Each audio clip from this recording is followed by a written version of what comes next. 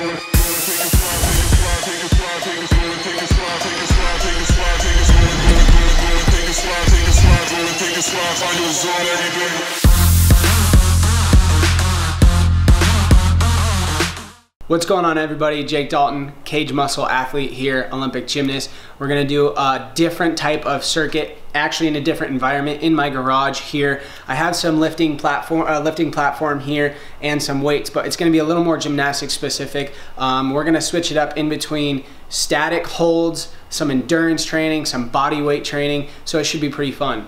We are gonna start with handstand push-ups. I'm gonna do 10 handstand push-ups. And if you can't do that, you can just do a handstand against the wall, just a static handstand, do about 30 seconds if you can't do 10 handstand push-ups. And then I'm gonna jump right into some V-ups. If you guys don't know what V-ups are, basically you lay on your back, you sit up, bring your legs up, and you bring your hands and your feet close together like a V in a V position. And we're gonna do 20 of those. Next, I'm gonna do a static L hold. You'll see me here on the parallettes. You can do it on the floor, which will be really, really hard, or parallettes, basically wanting to keep your body in L position, keeping your feet up, staying static there for 30 seconds. Then we're gonna go to jump rope, knock out 30 jump ropes, and then we're gonna do a run around my block, my local block here, probably a little less than 400 meters, and uh, so it should be pretty quick. We're gonna go through five times, so it should be pretty fun. So let's get after it.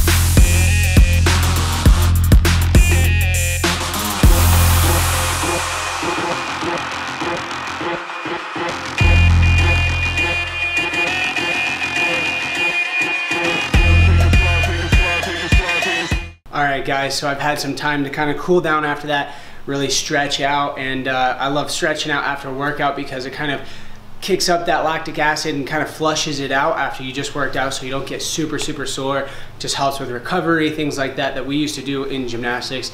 I'm gonna go have myself a coffee latte protein because it is absolutely amazing. It's been one of my favorites, especially when it's a nice hot day. It's, uh, it's nice to go inside and have a little iced coffee that's uh, pure protein. So looking forward to that. Hopefully you guys enjoyed this. Try it out and let me know what you guys think.